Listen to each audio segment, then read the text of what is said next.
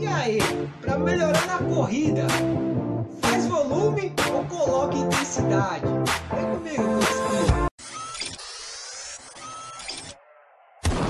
Aqui é o Roger Ruivo do Corra com Ruivo e hoje nós vamos falar sobre volume versus intensidade. Você ainda não se inscreveu no nosso canal? Se inscreva aqui, ó. Aquela moral pra nós. Nunca quis saber a planilha daquele cara que corre muito ou da mina que voa nas provas? Todo mundo quer saber. Quantas pessoas já não te disse? Faz tiros que você vai melhorar seu desempenho. Mas e aí, verdade ou mito? Falando no contexto geral, é importante você estar tá alinhado tanto com o volume quanto com a intensidade. É a união dos dois que vai fazer você melhorar seu desempenho. Quando a gente fala de volume, a gente está falando de treinos longos, ritmados, progressivos.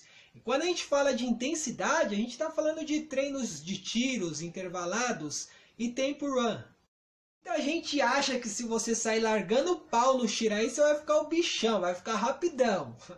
Não é por aí. Sem periodização, isso acaba sendo um mito. O que adianta você estar tá veloz se você não consegue segurar essa velocidade por alguns quilômetros?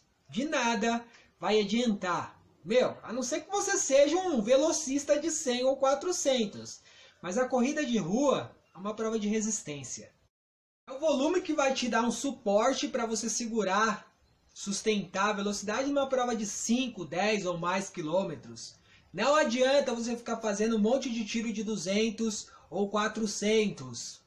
Isso não vai ser muito benéfico se você não tiver uma base de volume para segurar tudo isso. E vou mais longe. Seria mais importante você acrescentar mais volume do que de repente fazer intensidade. A evolução pode acabar até sendo maior. Porque, como a gente disse, a corrida é endurance, é resistência. Dica que eu deixo, meu, é procure um treinador, que ele vai poder alinhar isso com você.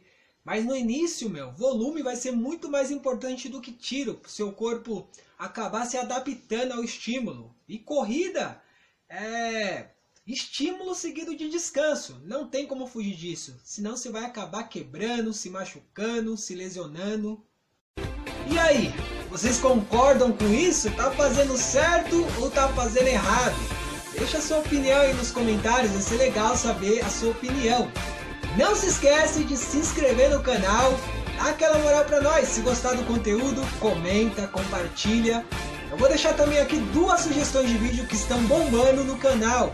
Obrigado para quem assistiu até aqui e até o próximo vídeo.